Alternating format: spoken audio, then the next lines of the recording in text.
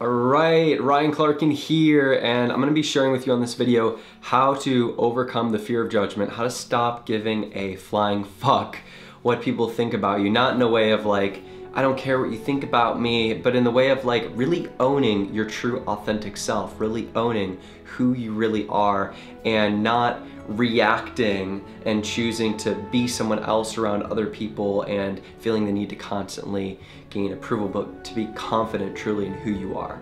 Now, I remember a time in my life where I was um, extremely needy of other people's approval and um, that came from a deep sense of insecurity. I remember it really being at its highest when I was in um, middle school, probably or actually early high school and I would constantly base who I was based on what other people thought about me and I gave my power away to other people.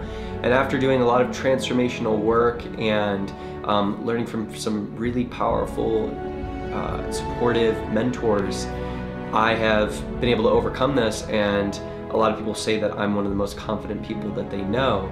Um, and I want to share these tools with you, these three steps with you that you can use to step into your confidence and your power and really not give a fuck what people think about you. Um, because if we live life based on what other people think about us, we're not really living for ourselves, we're living for them. So step one, okay? Um, the step, the first step to overcoming the fear of judgment is doing just what I said, which is not giving your power away to other people, not basing who you are off of other people's opinions and judgments of you and not feeling like you need to gain the approval of the people around you. And you know, Ryan, that sounds harder than that that is harder than it sounds. Yes, it absolutely takes practice. It takes practice, it takes practice, it takes practice, it takes training, it takes training, it's, it takes training. And that's, you know, how it worked for me.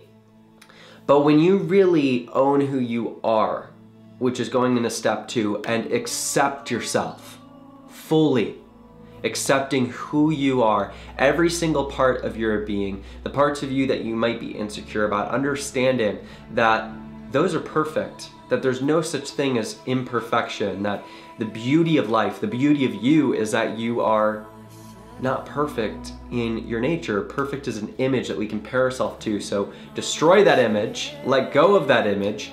You know, there's no, never gonna be another version of you ever created again. So really own the gift that you are. And in doing that, your self-worth goes up automatically and you don't have to rely on any other people for you to know that you're worth it, for you to know that um, you are valued because you value yourself. And step number three, uh, the fear of judgment is, it's kind of, it's, it's healthy to have a little bit of fear. Um, that means that you're growing. So feel the fear when it comes up and I like to interpret fear as growth potential and feel the fear and move through it anyway. And I love to wear fear as a badge of honor. So when I feel that fear, I'm like, yeah, most people are comfortable, they're they're lazy, they're laying on their couch right now, and I feel this fear and I'm going to move through it. So feel the fear and move through it. And the more you do that, the less powerful that fear will become over you and that fear just gets smaller and smaller and smaller and smaller to the point where it you totally forget about it and owning who you are and accepting yourself and loving yourself and being confident and courageous becomes your new norm. If this empowered you, if this inspired you, make sure to hit the subscribe button. Remember, it all starts with the mind and you'll be upgrading your mind with each and every video I release. So make sure to catch them all like a Pokemon. I appreciate you and I'll see you on the next video.